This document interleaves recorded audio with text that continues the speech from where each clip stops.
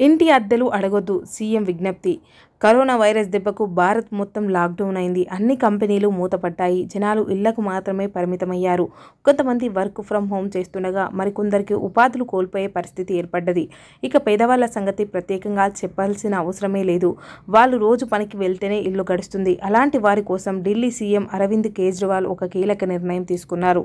ఢిల్లీలో ఇల్లు అద్దెకి ఇచ్చిన యజమానులకు ఆయన ఒక విజ్ఞప్తి చేశారు. అద్దెకు ఉంటున్న వారిని ఓనర్లు రెంట్ కోసం వేధించవద్దని ఆయన కోరారు. కరోనా వైరస్ వేగంగా వ్యాప్తి చెందుతున్న నేపథ్యంలో ప్రజలను ఇళ్ళకే పరిమితం కావాలని ఆయా రాష్ట్ర ప్రభుత్వాలు సూచనలు ఇచ్చాయి. ఈ క్రమంలోనే యజమానులు ఇళ్ళలో అద్దెకు ఉంటున్న వారి దగ్గర నుంచి బలవంతంగా అద్దె వసూలు చేయవద్దని సూచించారు. ఒకటి లేదా రెండు నెలల్లో ఇచ్చేస్తారని లేదా వాయిదాల రూపంలో వసూలు చేసుకుని పేదవారిని ఆదుకోవాలని కేజ్రీవాల్ కోరారు. రాష్ట్రంలో ఎవరు కూడా ఆకలితో బాధపడకుండా చూడాల్సిన బాధ్యత ప్రతి ఒక్కరిపై ఉందని ఢిల్లీ సీఎం అరవింద్ కేజ్రీవాల్ వెల్లడించారు. Peace.